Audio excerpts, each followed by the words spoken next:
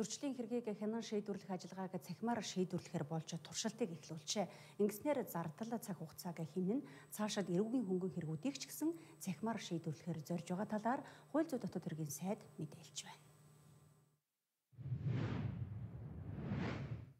Зөрчлийн эргийг хянан шийдвэрлэх ажиллагааг эх оны 1-р сарын 1-ээс эхлэн 100% цахимаар хийхээр болжээ. Харин маргаашнаас туршилтыг эхлүүлэх юм байна. Зөрчлийн эргийг цахимаар шийдснээр орон зай цаг хугацаа гэхээр хэмнэх давуу талтаагаас гадна амжилттай хэрэгжүүлбэл эрүүгийн хөнгөн эргүүдийг цахимаар шийдвэрлэдэг болох талаар судалж байгааг хууль зүйн дотоод хэргийн сайд мэдээллээ.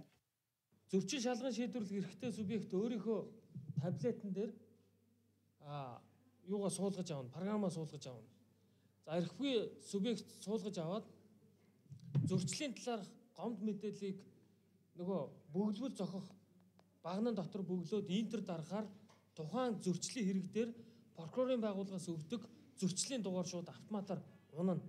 За ингээд зөрчил гаргасан этгээдийг дуудаж тайлбар мэдүүлгээ аваад шинжээч гэр чохрогчийн мэдээллүүдийг оруулаад зөрчлийн шийдвэрлэлийн процесс эхэлнэ.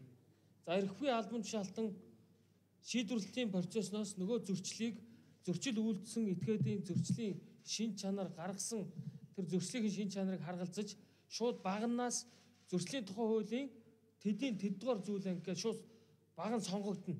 За ингээд зөрчил шалган шийдвэрлэл явагдаж дуусмагц тухайн нөгөө хуулийн зөрчлийн хуулийн зүйл хэсэг заасан шийтгэлийн хэмжээ торгуулийн санкц на сонголтоо хийгээд интер дараад зөрчил шалган шийдвэрлэх ажиллагаа үндсэндээ дуусвар болно.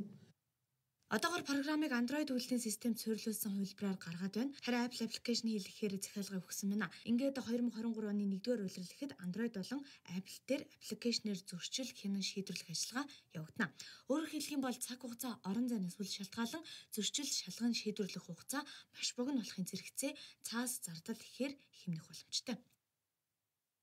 За програм хангамжтай холбоотой болон техник хангамжтай холбоотой хэд хэдэн асуудлууд бас гарч ирж болзошгүй. Одоогийн байгаа 32 мянган субъектэд манд байгаа таблет болон суурин компьютер дээр энэ програм хангамжийг суйрлуулах ажлуудыг бид одоо энэ оны төгсгөлд хийж дуусгана. За ингээд 23 оны 1 сарын 1-ээс эхлээд нөгөө зөрчил шалган шийдвэрлэх хэрэггүй субъект ажил дээр ирэхэд удирдлагаас зөрчлийн гомдол мэдээлэл цогцогдож ирэнгүүт шууд програм хангамжийн дээр зөрчин шалган шийдвэрлэх ажиллагааг хийн. А прокуророос ямар нэгэн байдлаар биечлэн очиж зөрчлийн хэргийн дугаар авах тухай ойлголт ингээд 23 оны 1 сарын 1-ээс эхлээд шаардлагагүй болно. 2023 оны эхний хагаст зөрчил шалган шийдвэрлэх ажиллагааг цахимаар бүрэн хийж ямар нэг алдаа дутагдaltaгүй хэвийн төвшөнд ашиглаж чадсанаар цаашид эрүүгийн хөнгөн эргүүдийг цахимаар шийдэх процесс руу шилжих төлөвлөгөөтэй ажиллаж байгааг мэдээллээ.